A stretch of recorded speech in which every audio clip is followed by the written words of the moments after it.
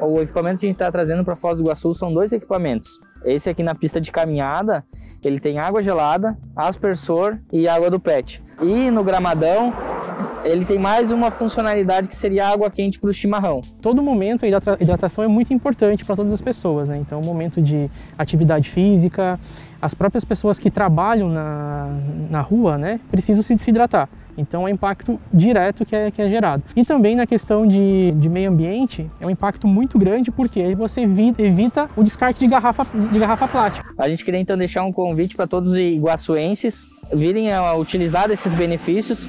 É totalmente gratuito para a população, você não precisa pagar nada para utilizar esses serviços. E fica aberto o convite para você. Aproveitando todo esse ambiente de inovação e tecnologia, né, que está sendo proporcionado pelo Smart Vitrine aqui o bairro, a gente está agregando ao Ice Hot Tecnologia, que são captação de dados, é o IoT, né? Todas, todo o consumo que é feito no equipamento, a gente consegue medir a litragem de água quente, de água gelada, água do PET, quantas, for, quantas vezes foram acionados cada serviço. Então tudo isso está na palma da nossa mão.